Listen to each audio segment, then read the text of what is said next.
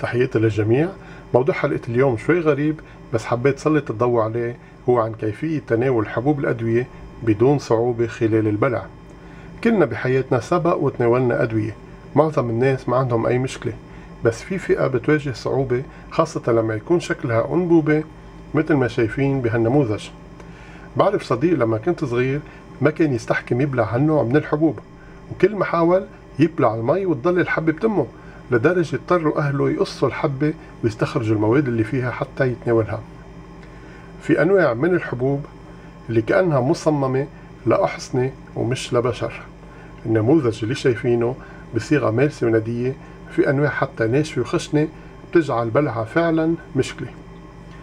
أسهل طريقة لابتلاع حبة الدواء هي وضع الحبة في الفم ثم أخذ جرعة كبيرة من المي وخلط الحبة مع المي بعدين بلعهم مع بعض. من الخطأ محاولة بلع الحبة على الناشف بعدين شرب المي. من الخطأ لما ناخذ جرعة المي بلع الحبة أولا ثم المي.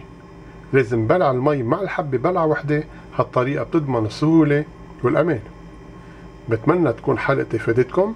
للمزيد اضغطوا على الرابط أدناه أو فتشوا في اليوتيوب تحت إيهاب بلانت كلمة وحدة.